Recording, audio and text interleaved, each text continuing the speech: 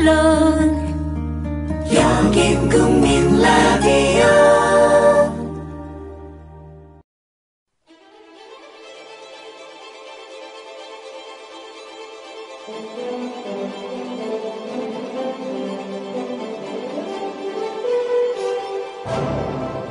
대한민국 99%를 위한 편파 방송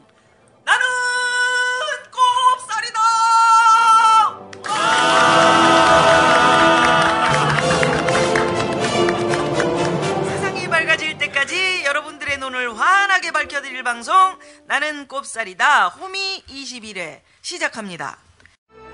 땀방울이 뻘뻘 나는 사우나. 생각나시는 분들 많으시죠? 간편하게 집안에 설치할 수 있는 원적외선 사우나. 땀방울! 지금도 조선일보를 구독하는 아버지와 국민TV 조합원 아들이 함께 만들고 세계 12개국에 수출하는 원적외선 사우나. 땀방울 2인용 사우나를 반신욕기보다 싼 가격 165만 원에 판매합니다. 헤어드라이기보다 적은 전기 사용으로 전기료 걱정까지 싸. 이제 땀만 빼지 마시고 건강을 업 하세요. 홈페이지는 www.kirc.co.kr 문의 전화는 010-7713-2433 010-7713-2433 국민TV 조합원 유리맛반이 직접 설치해드립니다. 나는 꼽살이다 호미 21회 야 나는 꼽살이다 이거 소리 지르면서 누나 목소리가 얼마나 큰지 마이크가 다운되는 이런 현상이 벌어졌어요. 새벽에 암탉이 우는 소리 같아요. 어 그러니까 나는 꼽기요. 나는 꼽살이다 호미 21회 오늘은 국민TV 스튜디오도 아니고요. 또 누나의 카페 호미도 아닌 제3의 장소에 와 있습니다. 어, 여기는 경기도 수원에 있는 경기도 교육청입니다. 오늘 교육에 관한 얘기, 아, 할 얘기가 참 많은데, 우띠리, 우띠리가 안 보여요. 우띠리 애기들이 차례로 감기 걸려서 아프다고 하더니 드디어 아빠가 쓰러졌습니다. 예, 우띠리가 감기 몸살에 걸려서 오늘 첫눈도 오고 말이죠. 분위기 있는 날인데 못 왔습니다. 에, 몸뚱이 관리를 지가 잘해야지 그 나이 먹어서 우리가 관리를 해주리? 안 그렇습니까? 응. 지금 앞에서 웃고 있는 진짜 쇠몽댕이를 깎아 먹어도 소화를 시킬 만큼 튼튼한 체력을 가졌다는 우리 선띠리. 안녕하세요. 선뜰 선대인입니다. 와! 저 웃고 계시잖아. 반갑습니다. 그분께서. 네. 그분께서. 아, 지난주에 저도 제주도 그 특강을 갔다가 아, 너무 무리했는지 지금 감기 걸려서 목이 좀 안 좋아요. 아, 진짜. 네. 어떤 사람이 제보를 했던데, 제주도에 그, 뭐, 프랭카드가 막 걸렸대나? 뭐, 얼굴이 너무 아, 커가지고, 금방 알아봤다는. 얼굴 커서 그런 게 잘생겨서 그래요. 진짜. 뭐 부담스러웠다 이런 얘기도 있고. 아, 그 특강 간데 진짜 이 제주도 그 사람들이 한 100명 이상 이렇게 모이는 강연이 쉽지가 않아요. 음. 워낙 인구가 작으니까. 근데 하여튼 100여 명 이상이 오셨더라고요. 아, 나름 잘 나가고 있는 우리 선들이. 네, 뭐제 인기를 또 한번 하- 새삼 확인하는 정말 못 들을 소리를 듣고 있습니다, 여러분. 지난주에 지난주에 100분 토론을 나갔어요. 어, 어, 어, 그래, 그래. 나갔는데 어. 그 상대 패널이 누가 나왔냐면 새누리당의 이노근 의원, 음, 노원갑. 음. 알고 봤더니 이 옆에 앉아 있는 이 막말 김용민 도사께서 나가서 무참하게 깨졌던 무참하게 깨진 않았어요. 야 별 어쩜 말씀- 야, 그런 인정할 건 인간한테 인정해. 깨지냐던데 아니 아, 사람들이 진짜. 그렇게 하는데 불과 5% 차이밖에 안 됐었어. 불과 불과 5%가 뭐야 총선에서 5%는 엄청 큰 거야 그래서 44% 득표했는데 네. 근데 제가 토론을 해보니까, 음. 야, 진짜, 아무리 그래도 그렇지.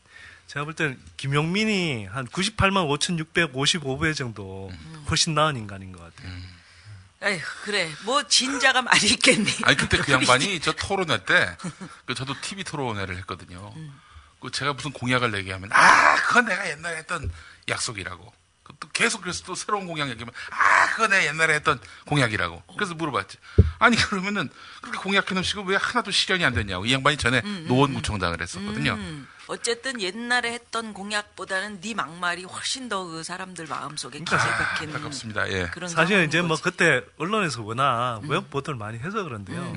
근데 제가 이렇게 진짜 상대를 해보니까, 야 정말 매너도 하나도 없고요. 그러니까 사람 말하는데 막 자르고 그 다음에 사람을 그냥 대놓고 뭐 아무것도 모르는 사람들 뭐 이런 식으로 이렇게 대놓고 막 이야기를 하더라고. 그리고 또 이런 이야기를 하더라고. 이게 이제 저 세정연에서 그 왜 신혼부부들 임대주택 이렇게 뭐 공급하겠다 뭐 이런 이야기를 하니까 그걸 빗대갖고 뭐 무상이라는 식으로 무상도 전혀 아닌데 임대료 다 내게 하는데 무슨 무상이에요. 그 양반이 뭐라 그러냐면 아니 그렇게 임대주택 저 한 채씩 줄 바에야 그랜저를 한 대씩 나눠주지 이러더라고. 아니 근데 임대주택이야 신혼부부들한테 공급해주면 뭐 주거비 줄여서 이렇게 생활도 하고 그러는데 그랜저에서 애 낳고 생활하냐고 참 어이가 없더라고 진짜. 임대주택이라는 게 벌써 그 비용 부담을 가지고 들어가야 된다라는 뜻이 내포돼 있는 건데 그게 예. 이제 무상이 아닌 거지.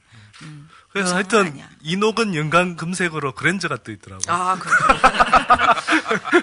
자, 우리 그 용띠리. 예. 용띠리 그 지난 방송 들으니까 우리 광고가 붙었더라고. 아 그래요? 어. 네가 따온 거냐? 아, 모르겠습니다. 너는 그래요 그러는 거 보니까 모르네. 광고가 붙었는지 떨어졌는지. 예. 어? 잘 좀 유지를 좀 해줘라. 예, 알겠습니다. 네가 예. 청취자 여러분들께 좀 말씀을 드리자면 어, 출연자들 뭐 저 포함해서 우리 띨띨이들 뭐 출연료 받는 게 없습니다. 다 뒤에서 애쓰는 스태프들한테 가는 거니까 여러분들이 낙곱살에 광고를 좀 많이 좀 붙여주시고요. 우리 뜰띠리들이 트위터 활발하게 하고 있고 또 뭐 SNS 활동도 뭐 하고 있으니까 페이스북이라든지 이런 데에 추가로 프로모션을 뛰겠습니다. 삼성이 국민 라디오에 광고를 준다고 한 적은 없습니다. 그러나 하더라도 안 받겠습니다. 삼성 광고 받고 마시간 언론이 많기 때문입니다. 삼성이 자기들에 대해서 비판적인 기사를 쓴다고 해서 광고를 주지 않고 의도적으로 경영을 악화시키려는 그런 저희를 명백하게 드러내고 있는 것이 지금 현실입니다. 그러나 삼성 아닌 다른 분의 광고는 환영합니다. 월 통산 1,500만여 다운로드의 국민 라디오, 국민 TV 팟캐스트, 수십만에 이르는 국민 라디오, 국민 TV 생방송 프로그램. 삼성이 못 누리는 탁월한 광고 효과, 바로 당신이 누릴 수 있습니다.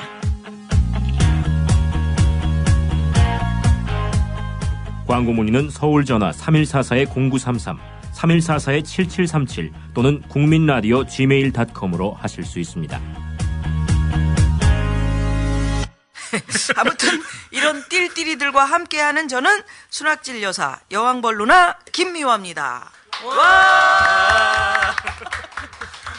24시간 방금 시간대에 보내드리는 방송 99%를 위한 편파 방송. 나는 꼽살이다. 낱낱이 까발리자 그들의 속셈 산산이 조각내자 그들의 계획. 쫄지마 그들 앞에 겁내지 말고 졸지 마 이들에게 귀 기울여. 빠리 씹대 약우일 세금 혁명 당선 일 시사돼지 용딜 우리의 여왕벌 루나 김미화. 카카의 호연적인 경제 정책 가족과 기득권 무한 사랑. 나라 돈 야금야금 꼽을 치네. 근데 왜 니네들은 세금 안 내? 형 누나 조심해요. 그러다 잡혀가요. 행복한 세상이 올 때까지 여러분은 계속 떠들어야 합니다. 계속. 나는 꼽살이다! 여러분 반갑습니다. 이제 오늘로 6.4 지방선거 공식 선거 운동도 마감하는 시간이 몇 시간 남지 않았습니다.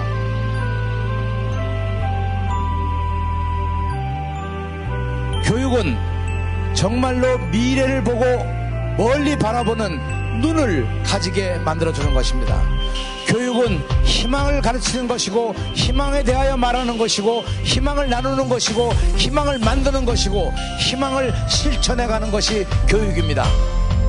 우리는 아이들에게 그 꿈과 그 희망을 만들어 주고자 합니다.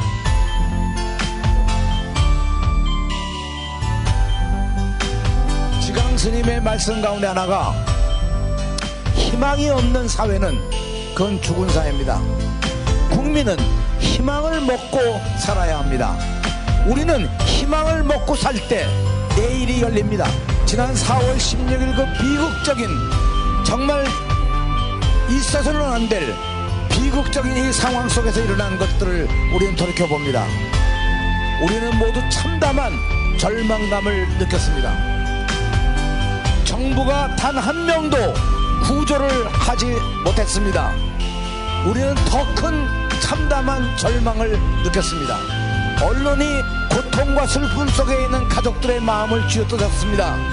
우리는 더 더 큰 절망을 언론에서 느꼈습니다. 기댈 곳이 없습니다. 희망을 둘 곳이 없습니다. 어디 물어볼 곳도 없습니다. 자, 이러한 절망적인 상황, 이것을 이겨내기 위해서는 여러분, 내일 있을 육사 지방선거에서 역사를 만들어야 합니다. 빛의 역사를 만들어야 합니다. 새로운 역사를 만들어야 합니다.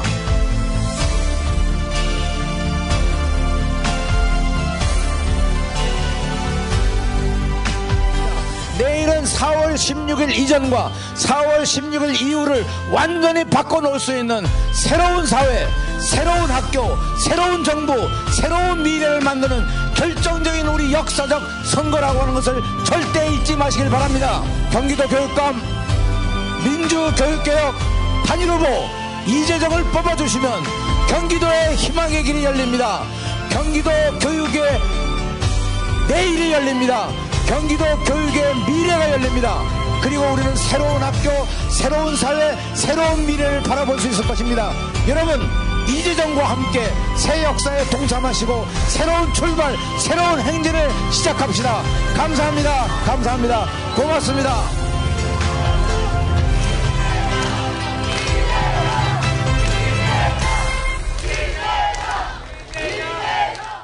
네, 이번에 실시된 교육감 선거에서는 이 전국 17개 시도 가운데 13곳에서 진보 성향의 교육감이 나왔습니다. 후보를 10% 경기도에서는 참여정부 때 통일부 장관을 지낸 이재정 후보가 보수 조전혁 후보를 10%포인트 차로 따돌리며 당선됐습니다.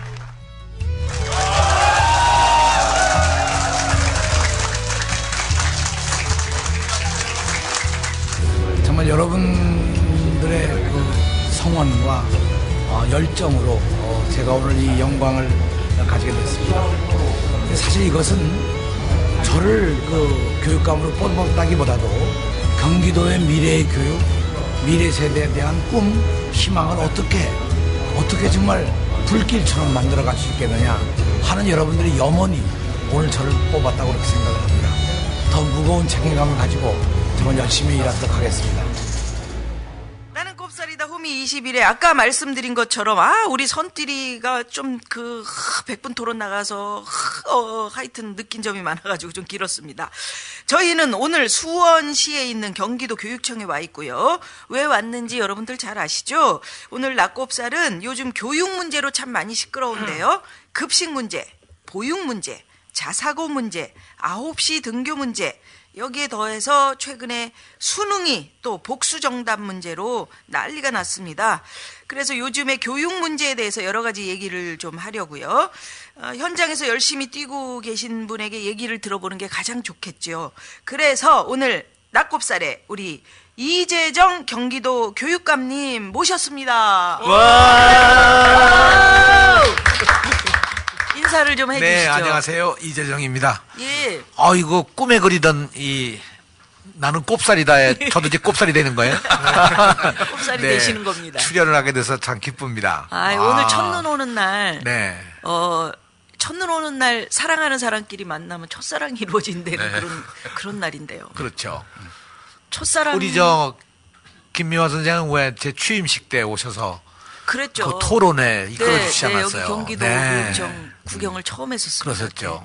어떠셨어요 그때? 아, 그 그때 뒤에. 참 재밌었어요. 그 평도 아주 좋고요. 네. 근데 나중에 국회에서 이거 가지고 시비 걸더라고요. 글쎄 제 출연료 네. 가지고 아니, 근데 사실은 그거보다는 뭐 마치 우리가 호화 무슨 취임식 한 것처럼 그렇게 얘기를 해가지고요. 김미화 누님 그 저기 저는 엄청 출연료가- 싸게 왔습니다 사실. 출연료가 비싸다고 판단을 했던 거. 아니 뭐 이모 저모 해서 네. 뭐제제 출연료 이야기도 어, 나왔다는 거예요. 그죠? 네, 근데 이제 뭐 많이 받았어요? 아, 많이 못 받았으니까 그게 문제인 거죠. 아니, 많이 받았는데 우리 한 푼도 안 냈나 해서. 그때 사실 경비의 대부분은 그, 어, 우리 경기도 넓잖아요. 네. 학생이 182만 명이고 선생님이 10만 명이 넘으니까 이분들에게 어떻게 함께 하는 분위기를 만들까 해서 할 수 없이 이제 그 인터넷으로 중계 방송을 했거든요. 네.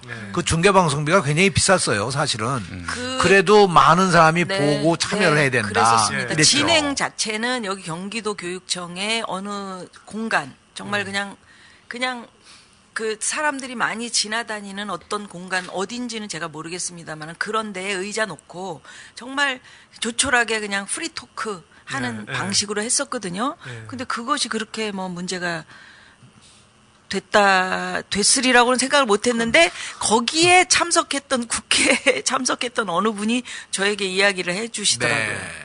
예. 그래서 내가 그날 보고 아무튼 국정감사의 이 소박한 취임식이 이렇게 널리 알려지게 된 것은 역시 위대한 우리 김미화 선생의 덕이 아닌가 그렇게 생각을 했어요. 첫눈 오니까 막 득담을 마, 마구 막 던지는 분이에요. 눈 그쳤습니다. 그 아까 저 저희 저 저도 띨 띨 띨이 되는 겁니까? 아까 뭐 교육감님이 그러셨는데 우리 저 꼽살이 되는 겁니까 하셨는데 네, 이띨입니다. 네네 이띨로 그냥 심플하게 네, 가겠습니다. 이띨로. 네. 어, 띨띨한 사람들끼리 모여 앉아서 똑똑한 아이를 만드는 교육 얘기하는 거 이게 뭐 여러분들 이상하게 느끼실 필요는 없습니다. 사실 띨띨이들이 아닙니다. 우리는 예? 아시죠? 요즘 이래저래 화제의 중심에 서 계세요. 일단 본론으로 들어가기 전에 참 그 얘기할 때마다 가슴이 아픈 세월호 이야기. 이- 희생된 학생들이 경기도 교육청 관할 학생들이죠. 네, 안, 네. 안 산에 있는 학교 단원고등학교입니다. 네, 네, 마음이 참 많이 이, 아프시고 지금도 노란 리본을 예, 달고 네. 계시네요. 그러니까 뭐 당선되시고 나서 바로 이 그 세월호 단원고 학생들을 맞닥뜨려야 하셨고. 음. 예. 네. 며칠 전에 제가 그 팽목항에 또 다녀왔는데요. 네. 이젠 뭐 세 가정 식구들만 있어요. 음. 우리 선생님 부인 한 분하고 우리 학생 아버지하고 이렇게들 있고 몇몇 사람들이 이제 또 주변 사람들도 와 계시고 그러는데 아 정말 참 너무 안타까워요. 그 양승진 선생님 부인은 말씀이 남편이 저 바닷속에 있는데 음. 어떻게 이걸 떠나겠느냐 그런 얘기를 하시는데 정말 가슴이 찡해서요. 자원봉사자들도 떨어져 나가고 심지어는 급식을 하는 그 비용도 제대로 안 오고 뭐 이 안산시에 내려오는 특교도 떨어졌다고 그러고 뭐 그러니까 다들 그 아주 우울한 상황이더라고요. 어 물론 그 진도 체육관에서는 다 나왔고요. 어디에 어디에 머물고 있습니까? 그 그분들이 바닷가에 그 옆에 이- 그 이, 이 조립식 조립식 건물로 해서 숙소를 지었어요. 네. 예, 이제 거기에 와서 이제 사시는데 바닥은 그저 이 장판이 있어서 따뜻하지만 이 우풍이 아주 세고 네. 그 바닷가라 더 춥죠. 아 급히 지은 네. 집이 뭐 그럼요. 오죽하겠습니까? 거기다 그분들 주무시려면 파도 소리 들리고 그 얼마나 그 가슴이 아프시겠습니까? 아주 가슴 아픈 현장에서 그냥 그, 그 아픈 거를 그대로 그 마음 속에 간직하고 누, 누르면서 이렇게 지내고 계시는 건데 희생된 학생들도 참 가슴이 아프지만 지금 이제 다행히 구조된 학생들 안산의 다른 재학생들 정신적 충격 이거 어, 해소시켜 주는 게 이제 우리들의 숙제일 텐데 교육청 차원에서 지금 하고 계신 대책들이 몇몇 가지가 있으실 테죠. 네, 그럼요. 저희는 이제 안산 교육 지원 센터라고 하는 안산 교육 회복 지원 센터라고 하는 어, 조직이 이제 아주 안산에서 어, 활동을 하고 있고요.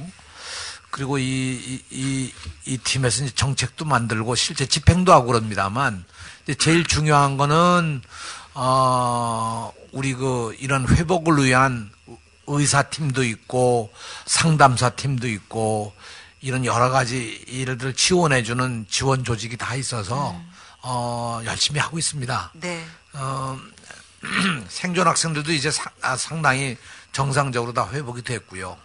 이제 3학년 학생들은 이제 졸업을 머지않아 이제 하게 되겠죠. 어, 그리고 1학년 학생들은 이제 2학년 올라가는데, 어, 여전히 이제 그, 그 가슴 아픈 현장에 직접 있으니까, 학생들도 그걸 견디기가 어렵고, 특히 그 2학, 1학년 학생들의 그 어머니들이 겪는 학부모들이 겪는 그 아픔도 아주 커요.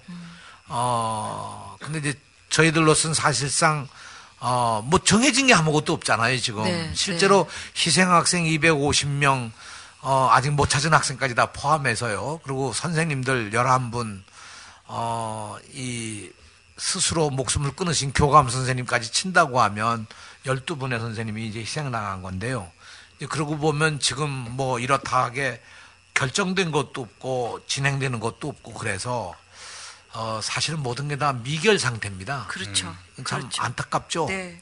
뭐 진상 규명이나 또 뭐 인양 문제나 아직 풀어야 할 일들, 해결해야 할 일들이 참 많은데 이 문제, 이 세월호 문제는 우리가 앞으로 어떻게 좀 우리 사회가 함께 풀어 나가야 할까요? 근데 이제 이 문, 이 세월호 참사 4월 16일 이걸 과연 어떻게 우리 국민이 바라보고 해석해야 되느냐? 난 굉장히 중요한 과제라고 봐요. 어떤 분들은 뭐 이거 심지어 뭐 교통사고 아니야? 뭐 이러는데 이건 정말 정신 나간 사람들의 얘기고요.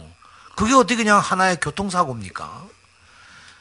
아이들을 눈앞에 두고 텔레비전 중계하면서 단 한 명도 구해내지 못한 정말 국가적 책임이 사회적 책임을 과연 어떻게 할지 그리고 그 배가 빠지게 된 과정도 어 침몰하게 된 여러 가지 과정도 지금 뭐 선장 뭐 이런 사람들 데려다 놓고 재판을 하고 있습니다만 저는 사실 근본적인 얘기를 얘기를 하자면 이것이 이 국가로부터 시작해서 이 사회가 갖고 있는 모든 부조리한 모든 부조리한 것들 심지어 경쟁 사회가 갖는 이, 이 치열한 정말 이 생존 경쟁의 이런 사회 모든 걸 돈으로 다 환산하고 그저 자기 욕심만 채우면 된다고 하는 그런 이기주의와 이런 모든 것이 다 섞여진 하나의 결과 아니겠어요? 저는 그래요. 6.25 전쟁 이후에 최대의 참사라고 저는 그럽니다. 이게 무슨 대구 지하철 사고나 성수 대 교 붕괴 사건이나 이거하고 비교할 수 있는 문제가 아니거든요.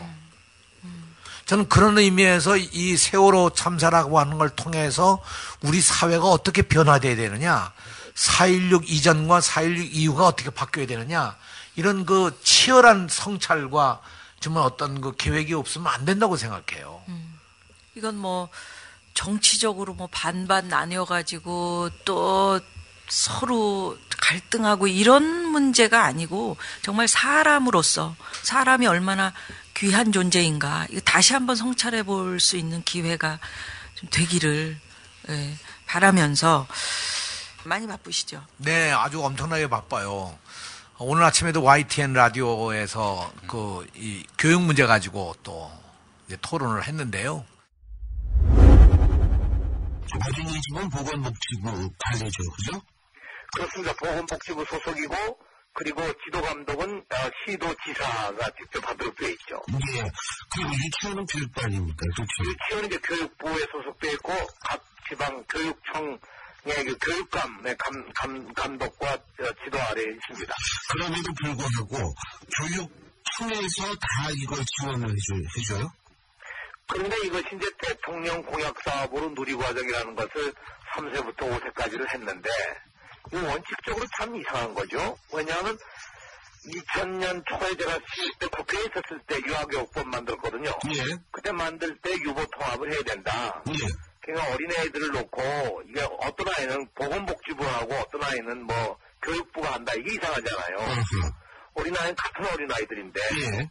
이게 결국 이제 당시에 밖으로 싸움 비슷해가지고요. 결국 이걸 통합을 못했습니다. 그랬다가 이제 이번에는 이 누리과정이 되면서 누리과정 예산을 보건복지부에서 따로 세우기가 뭐, 뭐 한지 저는 모르겠어요. 왜 그렇게 된지 모르겠습니다만 일방적으로 그 시행령을 고쳐가지고 이 저 교육, 교육부에다 떠넘기고 교육청에다 어, 책임을 맡긴 거죠. 아, 그래서 이렇게 된 거군요. 네. 근데 이제 문제는요. 저희 예산이라고 하는 것이 지방의 교육재정이라고 하는 것이 내국세의 일정한 부분을 떼어서 교부금으로 주지 않습니까? 예. 근데 이 교부금은 사실은 유치원부터 고등학교까지 학교와 학생을 위한 비용이거든요. 예. 근데 학교와 학생을 위한 예산을 뚝 떼서 30만 명의 누리과정 3세부터 5세까지 어린아이들 주라고 그러니까 예. 이 원칙이 전혀 안 맞는 거죠. 아, 무엇보다 이제 제일 중요한 문제가 아무튼 요즘에 어린이집이냐, 이 유치원이냐 이 전쟁 아니에요. 예. 여기에 돈을 누가 대느냐 뭐 이런 문제인데 이게 참 생각해도 참 한심한 게요.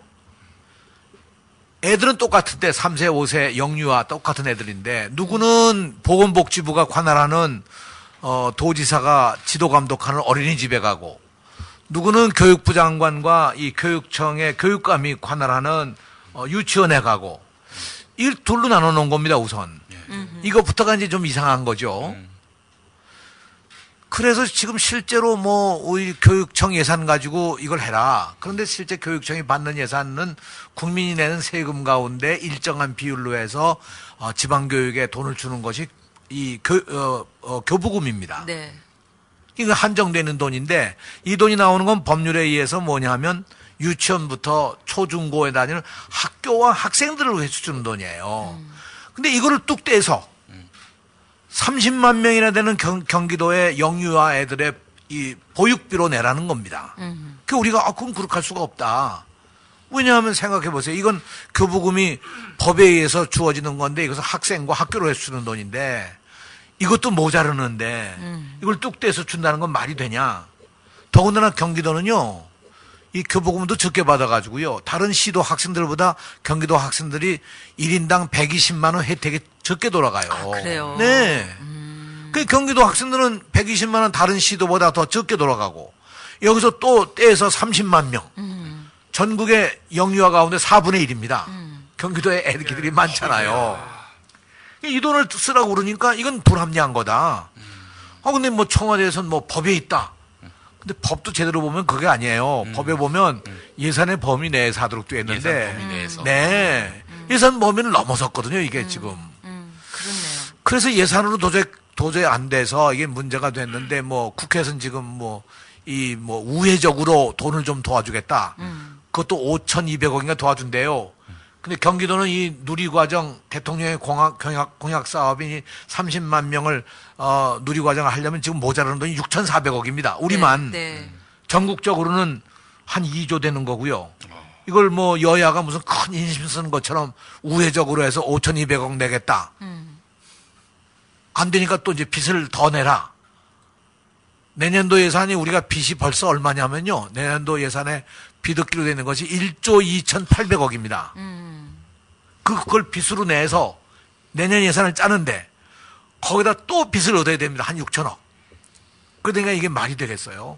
그래서 이제 이거를 어떤 우리 국민들이 이해하고 이것은 어 이것은 정치적 문제가 아니에요. 이게 현실적으로 아이들에 대한 교육 문제죠. 그렇죠. 네. 그래서 이거 가지고 이제까지 싸우고 있고 아직도 이, 이 예산 가지고 지금 국회가 아직 확정을 안 짓고 내일도 못 하는 것 같죠? 네. 그러니까 이제 뭐 또 며칠 걸릴 것 같은데요.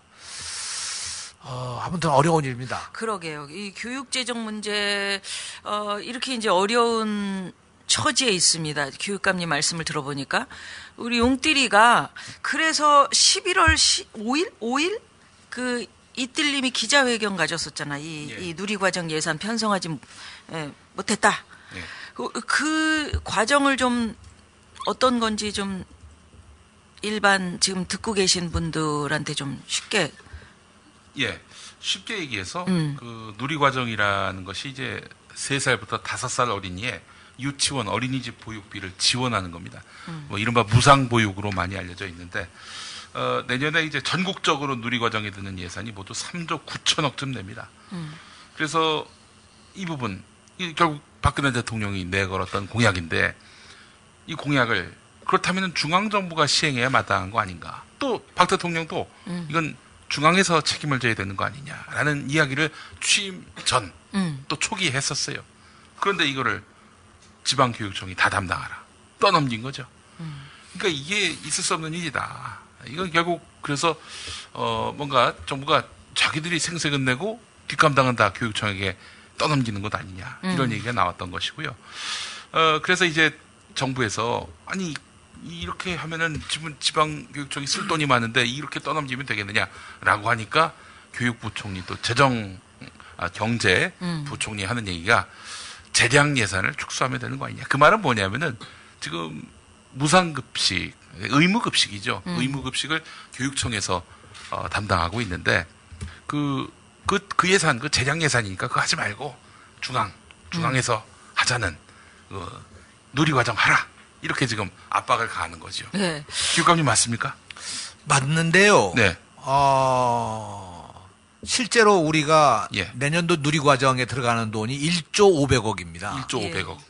그런데 이제 우리 측에서 어, 흔히 얘기하는 예. 어, 의무 의무급식 예. 또는 저는 교육급식이라고 합니다. 예, 왜냐하면 교육급식. 그게 교육이거든요. 그렇죠. 밥 먹는 교육을 위해서 우리가 아, 함께 밥을 먹으면서 함께라고 하는 교육 훈련을 받는 거거든요. 예. 정말 밥상 공동체를 만들어주고 예. 그한 톨의 쌀알이 얼마나 의미가 있는가, 음. 그한 끼의 밥이라는 게 얼마나 중요한 뜻이 있는가를 함께 밥을 나누면서 정말 식구가 되는 건데 예, 예, 예. 이거를 아니 초등학교, 중학교 의무교육 받는 애들의 밥그릇 뺏어 가지고 예. 3세, 5세 애들 밥그릇 채워주겠다. 예. 이 얘기가 되겠어요, 이게. 안 되는 거죠. 근본적으로. 네. 그 또, 그, 노인 밥그릇을 좀 반씩 나눠주시면 그런 그런 거 우리 어른들이 말이야. 노, 노인들 그 아니, 나, 나 기초연금은 같은 또. 중년의 밥그릇을 좀 반씩 나눠주고 뭐 이런 거면 아이들에게 토건족이나 오히려 재벌들한테 가는 밥그릇을 음. 그걸 이제 좀 줄여서 사실 이쪽에 나눠줘야 되는 거죠. 음. 지금 이게 저는 제가 보면 너무 한심한 게 뭐냐면 우리가 4대강 사업에 22조 썼잖아요. 또 지금 뭐 자원외교라고 해서 거기에 얼마나 돈을 펑펑 쓰는데 지금 돌아오는 게 없지 않습니까? 거기에다가 이명박 정부 이래로 감세 정책 써서 법인세 한 저 세목에서만 한 해에 최소 5조 원 이상의 세금을 사실 더 걷어들일 수 있는 걸 지금 빵꾸 내고 있거든요. 그러니까 이렇게 해서 빵꾸 나니까 하고 있는 게 이런 식이에요. 뭐 여러 가지 방식이 있는데 아 참 또 하나 있다. 부동산 취득세 그거 연구 인하해서 지금 취득 세수가 한 2조 4천억 빵꾸 나 거든요 매년. 그러니까 이렇게 하면 중앙 정부도 빵꾸 나지만 뭐 부동산 취득세 같은 게 지방 광역시도 세수도 이제 축 내는 거거든요. 근데 그렇게 해서 이렇게 막 펑크 나는 그 세수들을 이제 중앙 정부는 돈 모자란다 그러니까 이걸 이제 지방에다가 지자체에다가 막 뜨는 경우 지자체 가뜩이나 재정난 심한데 또 이제 뭐 지방 교육 복- 그 교부금도 줄인다. 또 뭐 강역 세수 지자체 입장에서 보면 지자체에서 또 이제 그 교육청에 전입하는 이렇게 저, 저 그러니까 표- 저 자금들이 있는데 그 자금들을 또 이렇게 줄 여력이 잘 안 되는 거잖아요. 그러니까 이렇게 해놓고는 뭐 무슨 돈 들어갈 일이 있으면 아 지자체도 부담해야지 이런 식으로 계속 지금 떠넘기고 있는 상황이죠. 제가 보기에는. 근데 사실은 저 기획재정부 같은 경우는 논리가 있어요 또 없는 건 아니에요. 예. 학생이 줄어들지 않냐? 음. 근데 왜 예산 자꾸 더 달라고 그러느냐? 이 그게 논리입니다. 아이들도 줄어들잖아요. 예, 그렇죠. 예. 근데 아이들이 사실 줄었어요. 그러니까 그게 걱정이에요. 2000년 2000년부터 2014년까지 14년 동안에 학생들 줄어든 게 한 21%가 줄었습니다. 그건 뭐 사실이에요. 근데 선생님들의 급여가 올라간 거는 그동안에 올라간 것이 어, 선생님 수가 늘어나고 선생님들에 대한 급여가 올라가는 것이 어, 250%가 넘어 올라갔습니다. 그리고 물가 상승률로 보면 49%가 올라가고요. 네. 그러니까 실제로 아이들이 늘어났다고 해서 교실 수가 줄어들거나 학생 수, 저, 이 학교 수가 줄어든 건 아니고 오히려 우리가 이제 좋은 교육, 교육하겠다고 OECD 기준에 그래도 가깝게 가야 되지 않겠느냐. 네, 네. 그래서 학급당 인원수를 25명 해야 네, 된다. 네. 네. 그 25명 가기 위해서 조금 조금 조금 노력해 와가지고 선생님 수도 늘어나고 학급 수도 늘어난 거죠. 네. 그럼에도 불구하고 경기도 상황이 어떠냐? 우리는 지금요 고등학교 같은 경우에 학급당 인원수가 지금 35명에서 40명입니다.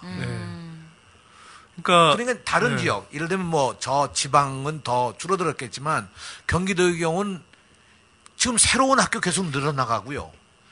내년도에 우리 새로 개교하는 학교가 쉬운 두 개입니다. 예. 어우 경기도가 살기 좋은 네. 데인가 봐요. 자꾸 학교가 늘어나고 우리나라에서 제일 학생 수가 인구가 늘어나고. 많은 아니 그러니까 아, 교육감이 좋으니까. 아, 아, 네, 네. 아, 그렇게 말씀을 드렸었어요. 제가. 사실 뭐 이런 게 그것도 있어요. 있습니다. 그러니까 서울 땅값이 이제 오르고 하니까 음. 사람들이 이제 서울 인구는 줄어드는데 서울에서 이제 이 경기도에 아파트를 많이 분양하고 짓잖아요. 음. 그러니까 이제 자연스럽게 이쪽으로 이제 인구가 빠져나오는 효과가 있는 거죠. 그러면서 그러면 이제 그 도에 맞춰서 이 그러니까요. 저 정부 재정이라든지 이런 걸 운영을 해야지 다 네. 일률적으로 학생 수가 정말 없는 저기 어디 네. 두메산골과 네. 여기 학생 학생 수가 엄청 많은 곳을 네. 똑같이 놔두고서 정책을 펴는 거는 좀 네. 그것도 문제겠네요. 근데 이제 더 큰 문제가 아, 뭐냐 하면 내국세에서 교육비로 주는 돈이 20.27%입니다. 정확하게.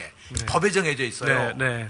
그러니까 내국세가 많이 들어오면 교육 교육 재정도 많이 들어오는데 네, 네. 내국세가 줄어들면 이 저 교육비가 안 들어오는 거죠. 네.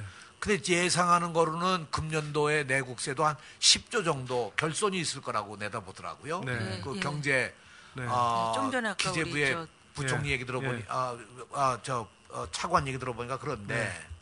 그러면 원래 기재부가 어떻게 예상했냐면 내년도에 교육 예산이 이, 이 내국세가 잘 들어와서 49조가 될 걸로 예상했습니다. 네. 49조. 근데 실제로는 얼마가 들- 얼마로 예상이 지금 계산이 나왔냐면 39조로 나온 겁니다. 올해 이야기 하시는 거죠? 내년도 거, 내년도 2015년도 거. 아, 내년 걸요? 네. 네. 원래 예상이 금년도도 본래 예상이 46조를 예상했는데 네. 실제로 우리한테 교부한 건 41조입니다. 네. 네. 그러나 실제로 들어오는 돈이 아마 그것도 안 될 거예요. 네. 그럼 안 되면 요 모자르는 돈은 돈은 2016년 예산할 때 거기서 예산 땡겨서 깝니다. 아, 네. 땡겨서 땡겼었으니까. 쓰는구나. 그 내년도 예산에서도 좀. 문제가 음. 에, 작년도 작년도에 덜 들어온 내국세를 해서 2조 7천억을 까는 겁니다. 네. 음. 그러니까 이 근본적인 문제예요. 네. 네. 근데 담배 값을 2천 원 올린다는데 코 이제 좀 들어오면 어떻게 도움이 좀 되실래? 교육청으로 좀 들어올래나요? 근데 지금 담배값 인상해서 올리겠다는 것도 보면 어. 제가 뭐 추가로 합의된 건 제가 구체적으로 확인을 못 했는데 원래 인상 계획안은 그저 뭐예요 개별 소비세라는 걸 신설해서 그걸 중앙 정부에서 거의 다 그 세수 인상분을 거의 다 가져가겠다는 거였거든요. 그래서 그걸 가지고 뭐 얼마나 잘 쓸지는 모르겠지만 지금 중앙 정부가 써온 걸 보면 실제로는 뭐 지자체한테 이렇게 돌려줄 생각이 전혀 없는 거죠. 자, 우리가 지금 이제 누리 과정 예산 편성을 하지 못하는 이유, 안타까운 이유를 지금 쭉 듣고 있는데, 어, 우리 이뜰님, 우리 교육감님의 선언에 대해서 정부 쪽 반응을 이렇게 보니까, 아, 일단 교육청에서 예산을 방만하게 운영한다, 이런 논리가 있거든요. 감사원장께서 한 말을 좀 전하자면 매년 5천억, 8천억 원 정도의 절감 여지가 있어 보인다.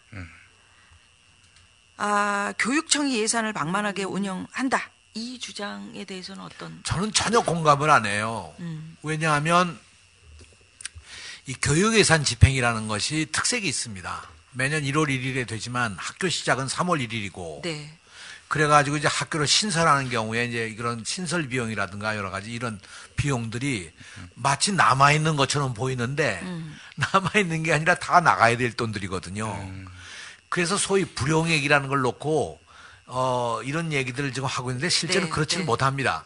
학교가 아시다시피 이제 학교 운영 경비도 주잖아요. 그럼 학교 운영 경비를 받아가지고 학교는 운영을 해 나가는데 어, 이것이 이제 학기가 아직도 끝나지 않고 어, 내년 2월 말까지 가는 거 아니겠습니까? 네. 그러니까 이 집행 관계, 집행하는 것이 다른 일반 정부 기관하고 조금 차이가 있습니다. 그러니까 이제 불용액이 나올 수밖에 없는데 이 불용액을 놓고 너희들 이 불용액이 있으니까 너희 예산이 방만한 거다. 음. 근데 절대로 그렇지가 않아요. 예. 이것은 정말 이, 저, 이, 이 현장을 잘 모르고 하는 얘기들이고요. 실제로 불용의 경우도 매년 줄어들어가지고 이런 액수도 매년 줄어서 내년도에 금년 예산을 결산하면 내년도에 넘어갈 불용액의 2월 액도 얼마 되지를 않습니다. 우리 같은 경우는 뭐, 어, 지금 보니까 뭐 몇백억 정도 수준밖에 안 되는 네. 저희가 네. 예산이 한 12조가 되는데 몇백억이, 몇백억이라는 건 뭐 그렇게 큰 의미가 없는 그렇네요. 거거든요. 그렇네요. 그리고 이건 또 지역마다 조금씩 다르다고 생각해요. 그냥 이건 문제가 아닌데 그 왜 자꾸 이렇게 얘기를 할까? 난 납득을 잘 못하겠는 것 중에 하나가 가령 뭐 너희 아까 말씀드렸지만 무상급식 뭐 자율적 경비니까 너희 이거 빼고 해라. 근데 실제로 저희가 나가는 게 한 7,400억 가운데 어, 지방자치단체들 그냥 시군구에서 어, 시군구에서 부담하는 게 한 44% 정도가 되고요. 우리가 나가는 게 한 4천억 조금 넘는데 이 가운데서도 가령 어, 무상급식으로 당연히 해야 될 이제 그 어, 저소득층 가정 애들이라든가 아, 특수한 그 교육을 받는 애들이라든가 이런 경우 한 1,600억, 1,700억을 빼고 나면 실제로 한2,000 몇백억밖에 안 됩니다. 근데 이거 가지고는 뭐 누리 과정에 그걸 해낼 수가 없는 건데요. 네. 나는 이런 논리를 넘어서서 저 아마 이 방송 들으신 분들 아실지 모르겠습니다만 내년에 복지 예산이 얼마인지 아세요? 우리 복지- 정부예요. 복지 예산이 네. 아무튼 뭐 너무 강조해서 그런지 모르겠지만 전체 예산의 한 30%, 어, 115조 5천억입니다. 그 금년도보다 내년도에 8.5%가 높이, 노- 올라갑니다. 근데 8.5% 복지 예산을 높이면서 이 의무 교육으로 해서 교육급식으로 주는 이 급식을 갖다가 어, 뺏어가겠다. 나는 그런 논리는 도대체 무슨 논리인지 모르겠어요. 정부 정책의 이율 배반 아니겠습니까? 네, 네. 방만한 운영, 뭐 경영 이런 이거는 공기업 때릴 때도 늘 나오던 얘기잖아. 여기에 대해서 우리 선들이는 어떻게 생각해? 방만하네 어쩌네 이런 얘기 들으면. 아니 그러니까 좀 물론 뭐 방만한 여지들이 있는 부분들이 있죠. 뭐 교, 교육청을 이야기하는 게 아니고요. 그러니까 뭐 공기업들 같은 경우에도 뭐 자원외교 하면서 얼마나 펑펑 썼나요, 그게. 근데 이제 그걸 구분해야 되는 거죠. 이 도대체 큰 틀에서 보면 돈을 어디서 펑펑 썼고 어디서 지금 이렇게 줄이려고 하는 건지. 아까 이야기했지만 4대강, 자원외교, 뭐 그다음에 부동산 떠받치기 이런 데 돈 엄청 펑펑 썼단 말이에요. 그런 데로 가면 진짜 돈이 하수분출을 막 쏟아나는데 교육이나 복지나 이런 쪽에 정말 우리 삶의 질을 좀 올리고 우리 아이들 미래에 투자하자 그러면 이런 쪽은 돈이 없다는 거예요. 그리고 그걸 가지고 중앙정부가 그런 데서 빵꾸 난 세수를 계속 이런 쪽으로 이렇게 해서 떠넘기고 있잖아요. 근데 홍종표 네. 지사 말씀은 어떻게 생각해? 그 뭐 국고가 거덜나는데 무상 파티만 하고 있을 건가? 정치적 공세죠. 그래? 아니 돈은 얼마든지 마련할 수 있잖아요. 이게 저희가 뭐 여러 번 방송도 하고 그랬지만 법인 세수 올리면 한 해에 5조에서 한 7조 정도는 더 거치거든요. 예를 들면 그뿐만 아니라 사실은 지금 뭐 부동산 관련해서 임대소득세 기획재정부가 뭐 내놨지만 실제로 임대소득세 실효세율이 2.5%밖에 안 됩니다. 그 OECD 국가들 가운데 가장 낮은 수준이거든요. 근데 그것도 제대로 내는 사람이 드물죠. 그렇지. 그러니까 정말 제대로 거둬야 될때 거두지도 않으면서 그냥 이렇게 막 세수가 솟아날 곳에는 내버려 두고 이렇게 정말 서민들 위주로 지금 뭐 세수 받고 난다니까 담배값 인상하겠다는 거 아니에요. 다 서민들이 대부분 부담하게 돼 있거든요.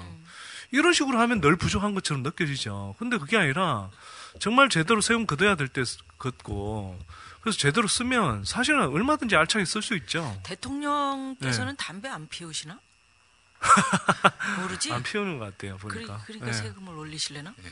아, 그런 거랑 상관없이 그래? 기본적으로 이 사람들은 웃기라고 얘기했는데 너무 다들 진지하게 대통령 얘기만 나오면 이렇게 진지해지고 그래. 아니 그럼 대통령 이야기 아 담배 네. 피우실 수도 있잖아 기호식품인데. 그렇죠. 네. 피라고 하세요. 예전에 노무현 대통령은 담배를 아주 좋아하셔가지고 음. 근데 또 청와대가 금연구역 아니겠습니까? 음. 아주 몰래 가서 비서관한테 꿔가지고 또 권양숙 여사가 음. 담배 못 피우게 해가지고 몰래 꿔서 어, 뒷뜰에 가서 피우셨다는 일화가 있죠. 예. 그래요. 예, 그래요. 상관없고요. 그냥, 그냥, 그냥 얘기를 한 거고. 그래서 그런 어떤 세수를, 어, 뭐 얘기하다가 지금 이렇게 흘러왔습니다. 아니 그러니까 음. 뭐 빵꾸 난 데는 엉뚱한 데서 다 빵꾸 내고 흥청망청 쓰고 정말 필요한 데는 안 쓰고 이게 뭐 하는 짓이냐 이거죠. 그 실제로 경남 쪽은 결국은 도지사가 급식 예산을 없애버렸는데 경기도는 어떠신지 모르겠어요. 우리 저 도지사님하고 얘기 아, 우리. 도지사하고는 얘기가 잘 되는데요. 남도지사님. 네, 네, 아주 뭐 친하게 지냅니다. 아니 근데 친하게 그분이 지냅니다. 네. 무상급식 그 예산은 저 측정하지 않겠다 그런 보도가 나서 근데 이제 이게 어떻게 되냐면요, 경기도는요. 그 학교 급식에 대한 무상 급식에 대한 이 경비에 대해서는 전혀 영입니다. 예. 경기도는 이제까지 몇 년간 음. 김문수 지사 때부터 네 다만 영인데 김문수 지사는 친환경 급식에 대해서 예산을 넣은 걸로 알고 있는데 그러니까 그걸 이제 우회적으로 우회적으로 우회적으로 조금 내는 거죠. 음. 이 지금도 친환경 급식이라 해서 친환경 이 농민을 보호하고 어 친환경 식자재를 공급한다는 그런 뜻에서 네. 이번에도 경기도가 내년에 아마 한 아 한 400 몇십억 500억 좀 안 되는 돈을 네. 책정을 했습니다. 네.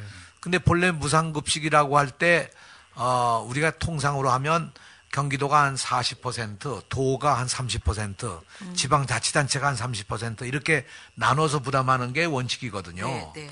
그러니까 30%라고 그러면 대략 경기도 몫이 한 2천 한 200억 정도 돼요. 네. 그 내가 그걸 좀 부담을 좀 해라 이제 우리 네. 다 바뀌었으니까. 네. 그리고 남지사고 나하고 가깝다는 걸 좀 만방에 알리기 위해서라도 좀 뭔가 변화를 가져와야 되지 않겠느냐. 그거 안 주던 무상급식 예산을 주어야 그게 표가 나는 거지. 근데 이거 안 해주는 거예요, 이걸. 음, 안 친하시네. 본인이 뭐, 아니, 무상급식 반대는 안 한다고 그러더라고요. 네.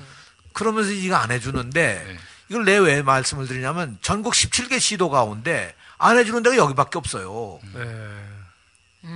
그 제가 경기도만 왜 특별히 그럴 필요가 있겠냐. 그러니까 이거 좀 어떻게 해결을 해보자. 근데 아직까지 해결은 안 되고, 아무튼 남지사도 고심을 좀 하고 있는 따로 좀 겁니다. 만나시거나. 근데 뭐 17개 시도 중에 여기만 안 되고 있다면 대구나 경북 이런 쪽도 지금 다, 다 지원하고 되고 있다는 있어요. 그럼요. 공약도 했어요. 공약. 그럼요. 음.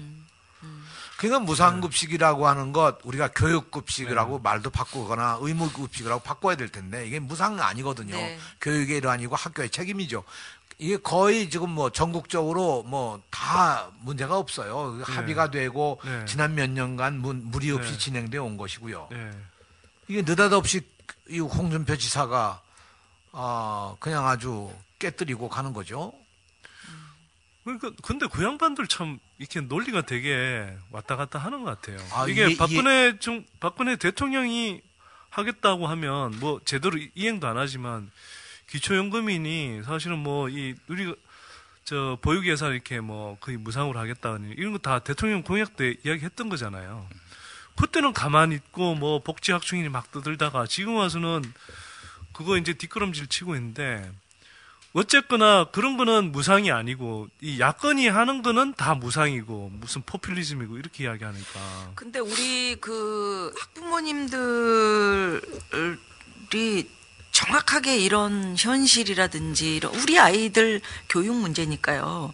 또 우리 아이들 밥 먹이는 문제니까 이거 정확하게 좀 알고 어 힘을 보탤 때는 보태고 대처를 함께 할 때는 하고 이래야 되는데 지금 이제 비춰지는 현실은 뭐냐면 이런 거지.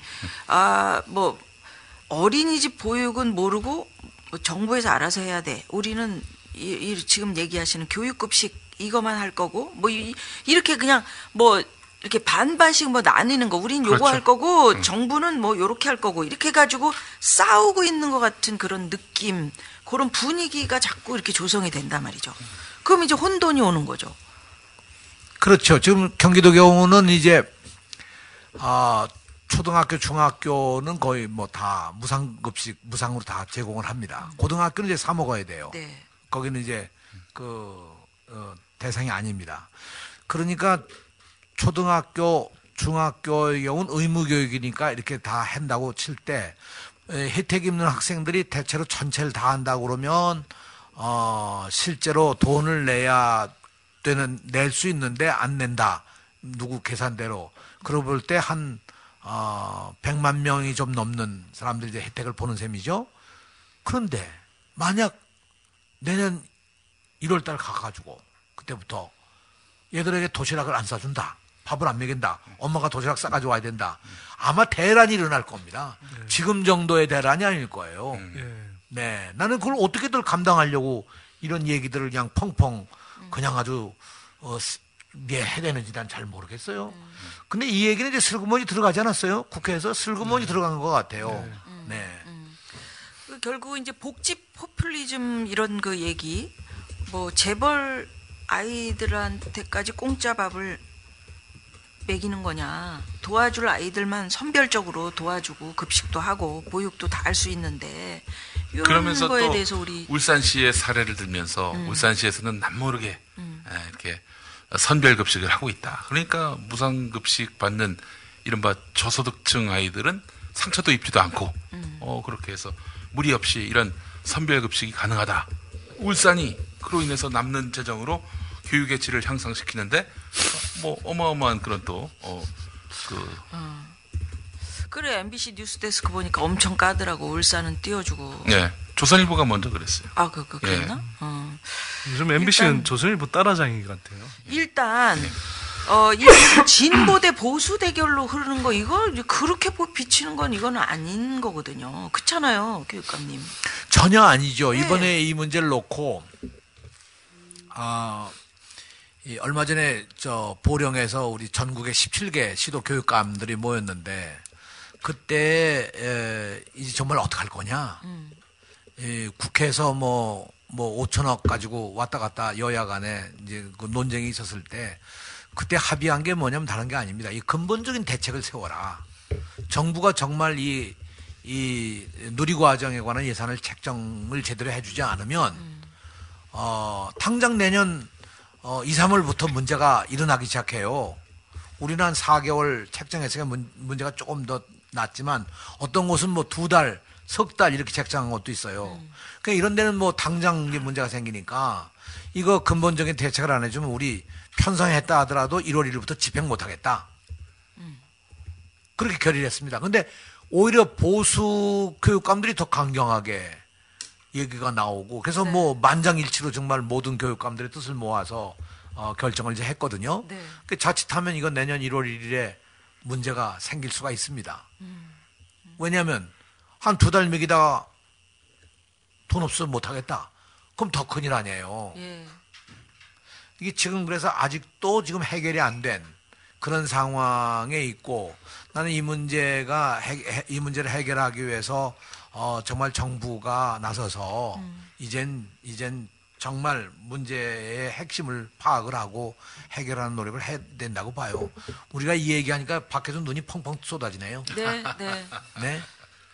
지난 지방선거 때 진보 쪽 교육감이 대거 당선되니까 진보 쪽 대표적인 사업인 무상급식 무력화하려고 정부 여당에서 이러는 거 아니냐. 뭐 이런 그 얘기들도 있고. 아니, 그, 지금 그런 모양새예요. 모양새는. 그러니까 박근혜 대통령 대선 공약을 지키기 위해서 그 야권에 그 야권이 아니라 이미 뭐 국민적 합의가 돼버린 무상급식 이거 저 어, 하지 말라. 이런 얘기 아닙니까? 거기 쓸돈 무상 보육으로 가라. 이런 얘기 아닙니까? 뭐 우리 뭐 지금 얘기하고 있는 우리 띨띨이 두 명을 포함해서 저까지 다 경기도 우리 또 시민입니다만 우리 선대인 소장하고 선대인. 음. 저는 선띠라고 저는 그 경기도 교육가족입니다. 그래 또 둘이 그러네 교육 가족이네. 예, 예. 그래서 어, 투표했어요, 투표. 아, 그래요. 그랬었어요. 아, 참. 경기도 쪽의 이 교육 재정 하, 이거 어, 걱정된다 하시는 분들 계시지만 걱정하지 마십시오. 이 재정 저 재정에도 이 재정이 있지 않습니까? 다시 한번 상기시켜 드리고 싶은 게 우리나라가 OECD 국가 가운데 토건 예산은 가장 많이 쓰지만 복지 예산은 멕시코를 제외하고는 가장 적게 쓰는 나라입니다. 이런 나라에서 자꾸 복지 때문에 뭐 포퓰리즘이다. 복지 때문에 나라 망한다. 이런 이야기는 정말 이젠 좀 제발 어, 엉터리 이야기로 좀 치부됐으면 좋겠습니다. 우린 왜그 북유럽처럼 학비를 안 내는 정도가 아니라 아예 공부하느라 고생 많다고 교통비까지 지급받는 그런 나라가 못 되는지. 음. 근데 또 이런 얘기도 있어. 복지 좋아하다가 그리스처럼 망한다. 아니 그리스가 막 그리스 꼴 난다. 그리스는 복지가. 상대적으로 유럽 국가들 중에 잘 안 돼 있는 나라고요. 음. 그 다음에 뭐 저기 마피아 같은 느낌의 그러니까 이 탈세나 이런 게 워낙 심한 나라고요. 실제로 오히려 복지를 탄탄하게 하는 뭐 북유럽 국가들, 핀란드, 스웨덴 거기도 줄이고 있다는 얘기 있던데. 아니 그러니까 예를 들어서 이런 거죠. 뭐 등산 정상에 갔다가 이제 하산하는 쪽하고 음. 우리는 올라가지도 않고 입구에서 헤매는 사람들이 올라가지도 않고 내려오니까 같이 따라 내려온다. 그건 말이 안 되잖아요. 음. 그래. 나는 꼽살이다 호미 21에 오늘 이재정 경기 교육감님과 함께 지금 쟁점이 되고 있는 여러 가지 교육 문제에 대해서 얘기하고 있는데 아, 교육감님께서 아까 하신 말씀 이것은 교육의 일환이고 학교의 책임이다. 라는 얘기 참 마음에 와닿습니다. 오늘 1부 마무리를 이렇게 하고요. 2부에서는 이딜 이재정 교육감님이 추진하고 계시는 여러 가지 교육 현안에 관한 궁금한 이야기 들어보겠습니다. 다음 주 2부에도 꼭 함께 해주세요. 2015년 고래 잡으러 갑시다!